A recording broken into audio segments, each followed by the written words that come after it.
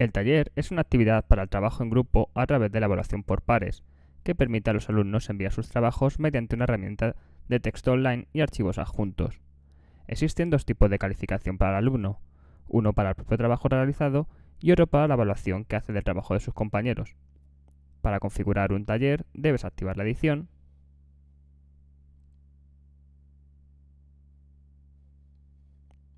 seleccionar el módulo donde quieres añadir el taller y pulsar Añadir una actividad o un recurso. Selecciona Tipo taller y pulsa el botón Agregar. En primer lugar, debes introducir el nombre del taller y una breve descripción.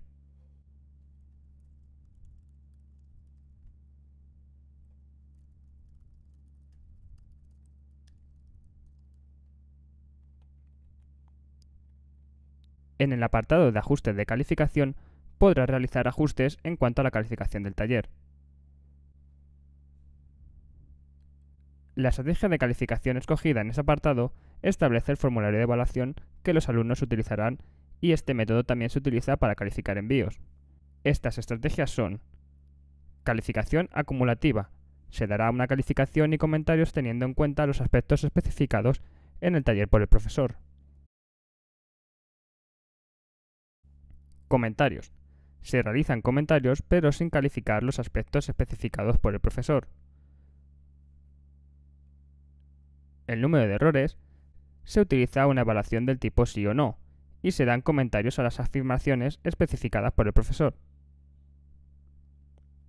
La rúbrica otorga un nivel de evaluación para cada criterio especificado por el profesor. Debes saber que la estrategia de calificación no se puede modificar una vez el taller ha entrado en la fase de envío. Aquí podrás establecer la calificación máxima que un alumno puede obtener por parte del profesorado de su envío. Esta escala oscila entre 0 y 100. Este ajuste permite establecer la calificación máxima que un alumno puede recibir por evaluar el trabajo de sus compañeros. También tiene una escala entre 0 y 100.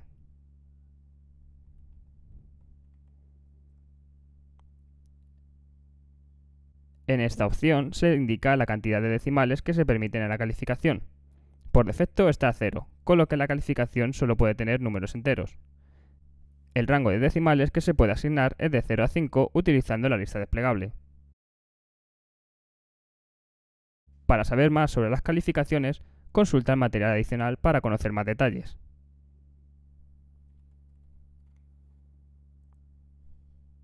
En la sección de parámetros de envío podrás realizar ajustes relativos a la presentación del taller.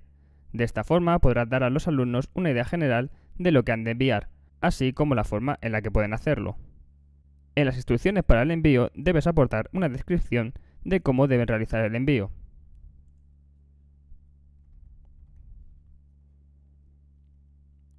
Aquí puedes indicar el número de archivos máximo que se pueden adjuntar, el tamaño de estos archivos y si se permiten envíos fuera de plazo.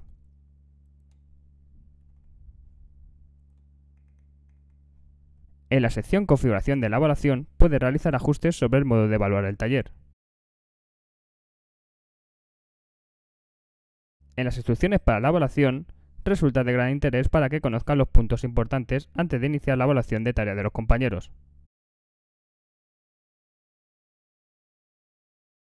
Si activamos esta opción, estaremos permitiendo el uso de uno de los aspectos más importantes y destacados del taller. Se trata de la evaluación que el alumno realiza de su propio trabajo, que será tenida en cuenta a la hora de evaluar en el total de la actividad. De esta forma, se busca que el estudiante reconsidere el planteamiento y forma que ha llevado a cabo en su trabajo y que sea capaz de generar autocrítica positiva que favorezca tanto la mejora de sus capacidades a largo plazo como su estructura de pensamiento.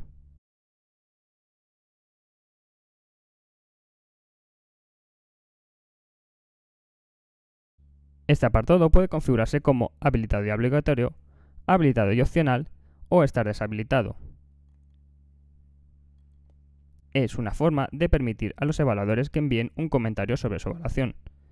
Este comentario puede ser escrito en un campo de texto o pueden agregar archivos adjuntos, que pueden ser de 1 a 7, y además puedes configurar el tamaño máximo de los mismos.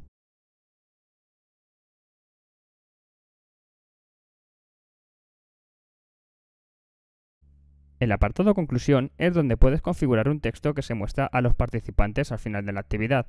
Puede ser una retroalimentación general, un resumen o sugerencias sobre qué debería hacerse a continuación. Por ejemplo, escribir una publicación en el foro que refleje la nueva experiencia.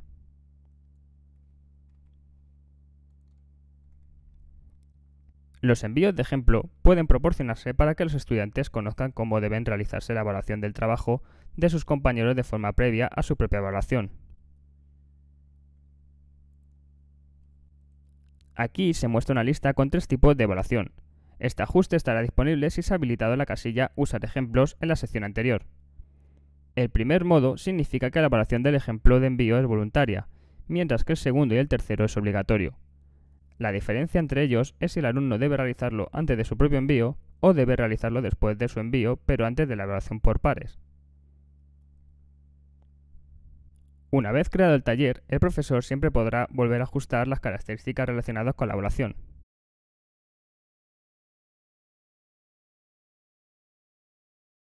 En el apartado de disponibilidad podrás realizar ajustes relativos a las fechas de envío y a las fechas de evaluación del taller.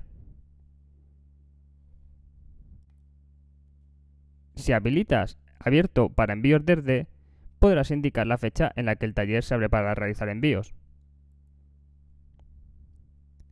Esta opción habilita la fecha en la que el taller se cierra para realizar envíos.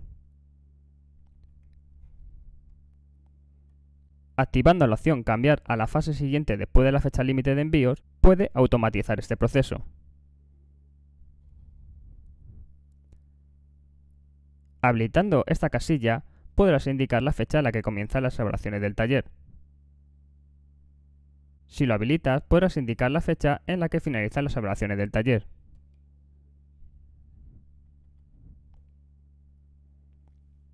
La disponibilidad te permite decidir si será un taller con un calendario cerrado o uno que tenga fijada una fecha de fin. Crear una fecha de apertura sin especificar una fecha de límite de envío hará que el taller sea una actividad en curso. Para ajustar la fecha de apertura y la de fin para los envíos o las evaluaciones, debes habilitar la opción que quieras ajustar.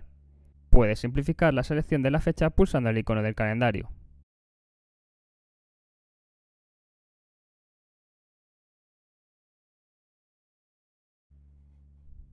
Los ajustes comunes del módulo restricción de acceso son similares a la de otra actividad o recurso en Moodle.